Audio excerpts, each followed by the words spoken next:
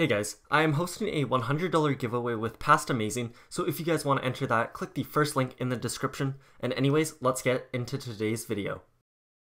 Our builders have completely abandoned us. Guys, if you just saw the most recent Clash of Clans video, you'll already know that our builders have left us. Because every time they build some magnificent structure, some troop comes along and destroys it. Our loyal builders have been building every single building on our base for the longest time, and they finally had enough. They are tired of our troops destroying the buildings, and then the builders rebuilding, rearming, and creating new buildings over and over again. So they finally picked up their stuff and left. Now on our bases we can see our ruthless barbarians hammering away at all our buildings. So where exactly did our builders go, and are they ever coming back? So there are a few different places that our builders could have gone, but the problem is we can't be sure which one for certain. One of the possibilities could be that they went over to our second village on the Night World, for a bit and perhaps learning some stuff from our master builder or something like that.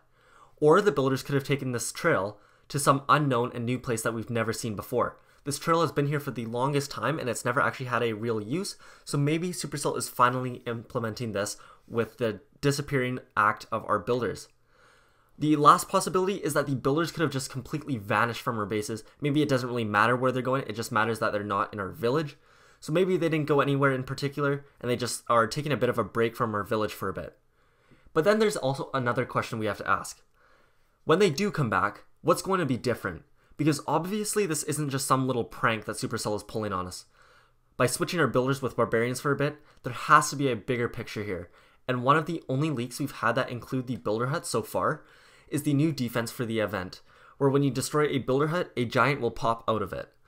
I believe it's meant to be a decoy builder hut, but nonetheless, a defending giant will jump out and help on defense. But other than that, we can only speculate on what our builders are going to bring back with them or what's going to change.